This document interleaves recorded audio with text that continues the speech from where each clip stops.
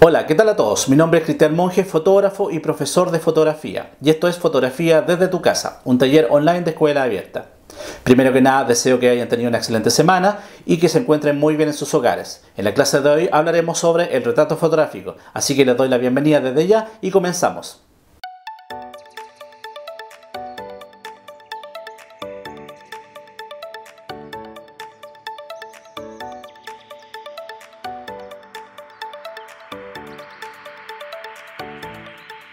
Primero que nada, hay que destacar que el retrato no es algo exclusivo de la fotografía, sino una manifestación milenaria que ha sido representada en diferentes áreas y se remonta incluso a nuestros ancestros en el Paleolítico. De hecho, la fotografía en un comienzo tenía como referente a la pintura, ejemplificado un movimiento como el academicismo o el pictorialismo. Y hubo gente relacionada tanto con la pintura como con la fotografía, como los escoceses David Hill o Robert Adamson, que destacaron por sus retratos fotográficos. Se podría decir incluso que el retrato es una de las primeras manifestaciones artísticas de la fotografía y en la cual hay autores destacados. Por ejemplo, tenemos el caso de Gaspar Félix Nadar, tenemos el caso de la fotografía pictorialista de Julia Margaret Cameron, la polémica fotografías de Lewis Carroll, el caso de Diderot y el caso de Gustavo Lee Gray. Desde entonces la fotografía ha pasado por diferentes corrientes y por diferentes motivos. Por ejemplo, una de las manifestaciones más tétricas ha sido la fotografía post-mortem, que se hizo muy de moda en el siglo XIX.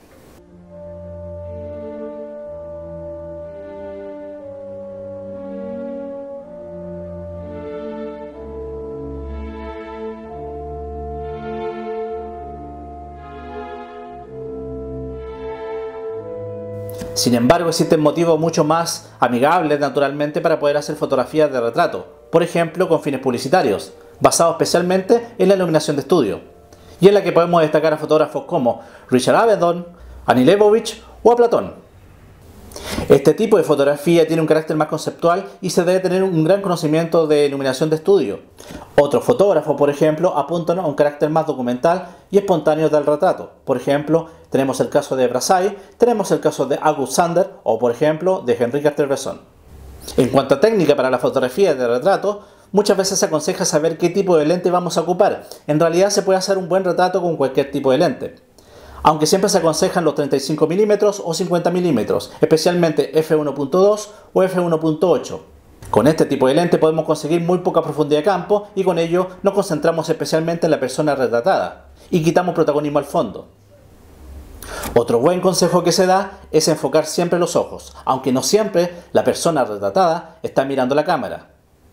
En ese caso entra la ley de la mirada, que es el espacio que nosotros le damos dentro de la imagen a la dirección de la mirada de la persona retratada, cuya ley se rompe naturalmente cuando la persona está de espalda.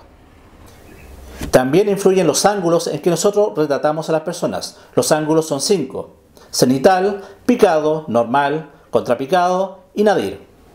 También podemos elegir el tipo de plano que queremos para nuestro retrato. Por ejemplo, un plano general, plano figura, plano americano, plano medio, plano busto, primer plano, primerísimo primer plano o plano detalle. El uso del flash únicamente recomendable cuando se requiera de luz de relleno, por ejemplo, en un caso de contraluz. La luz natural es mucho más recomendable porque le da un carácter más genuino a la imagen, aunque se recomienda siempre un día nublado, para así evitar luces y sombras duras. En el mundo de las redes sociales e Instagram se habla mucho del retrato y de las poses. El problema con este tipo de fotografía es que las personas retratadas lucen como quieren verse, pero no como son realmente. A la larga, esta foto termina siendo una especie de selfie, pero con mayor producción. La idea del retrato es exactamente lo contrario, es encontrar la esencia y personalidad del retratado, y para ello no solamente se requiere de un buen sentido de dirección, sino también darse el tiempo de conocer e interiorizarse con la persona. Desde ese punto de vista, la pose entonces es innecesaria a la hora de hacer un retrato. Solo basta con ver la fotografía del fotógrafo inglés Lee Jeffers a personas en situación de calle, o la fotografía de Nick Bowers a personalidades de la ciencia, y entenderemos bien de qué se trata un buen retrato. Por eso es importante el contexto y la creatividad que el fotógrafo añade a la imagen a través de la iluminación o el ambiente. La experimentación también juega un papel trascendental si queremos abrir nuevas fronteras. Hoy en día existen corrientes contemporáneas como el neorretrato que además le añaden un lenguaje conceptual. Así que por ahora me despido. deseándole una excelente semana y esperando que estos consejos les sirva de mucho. Nos vemos la próxima semana. Adiós.